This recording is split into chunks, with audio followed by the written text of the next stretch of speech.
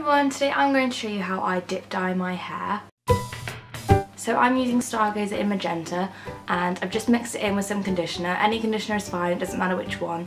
And I do this so that the shade of pink comes out a little bit lighter than it would if it was straight from the bottle. So the first thing that I do is I split my hair into two pigtails. Did that ungracefully, didn't realise I had two in my hand. Ouch.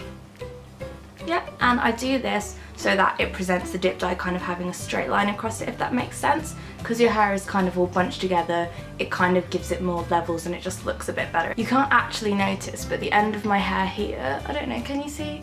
No, not at all, it looks the same. But this has actually been dyed a shade of blonde quite a while ago now, maybe like four months ago. But what this does is basically, even though the pigmentation itself hasn't changed and you can't really see, um, it does lighten the hair so the colour will stick to the hair better. So if you have hair similar colour to mine maybe I doubt I doubt it matters too much if you're blonde if you have hair my colour definitely lighten the ends first because it will make a world of difference. So then I will just take at the moment I'm using a plastic bag because I don't have any gloves which is not advisable but you don't have any gloves but you have sandwich bags go for it. But yeah, try and put it on both sides the best you can because obviously if you leave one side on longer than the other then the colour is going to be stronger and you're going to look a bit daft. Now I kind of use the pigtails as a guideline because I like having my dip dye start quite high but obviously if you want small dip dye right at the bottom then just do them super low, it shouldn't matter. I mean you might look a bit silly but you'll, still get the same outcome. Yeah, so I like just doing this to make sure that there's equal coverage all the way around.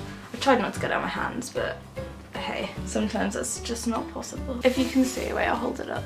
So you can see that there's my natural colour and then there's the pink and it should all fade together quite nicely. Obviously use all of the dye that you have. I did quite a lot of conditioner so this should come out hopefully as like a nice fruit salad shade of pink if that makes sense. You know the sweets, like fruit salad sweets. That's what I think this is because it's like pink and then my, my orange of my hair so it's kind of reminds me of a fruit salad.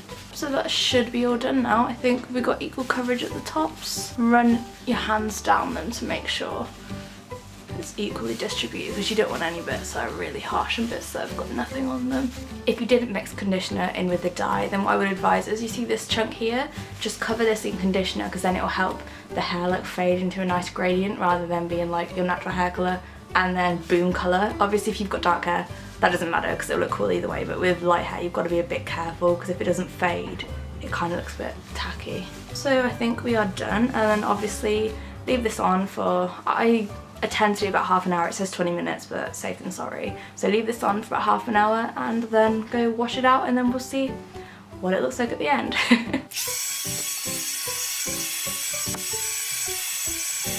So this is the end result and it's about 98% dry but my hair takes so long to dry I just couldn't bother drying it properly. This is the colour that it came out so it's got that mixture between pink and orange like I said I wanted. If I was to have put this on without the conditioner it would have come out but this colour here so it would have been a lot darker and it wouldn't have gone with my hair as well. And just a little tip if you do end up getting any coloured dye on your skin all you need to do is get a cotton bud and dip it in some nail varnish remover and I know this sounds horrendous but if you just dab it on it'll come straight off like I swear it's the best thing I ever discovered because I used to get it all over my hands and then I would have coloured hands for ages after because soap does nothing to dye. That is what my hair looks like now and if you want to get the same colour I guess I've shown you if not I don't know. Okay, bye.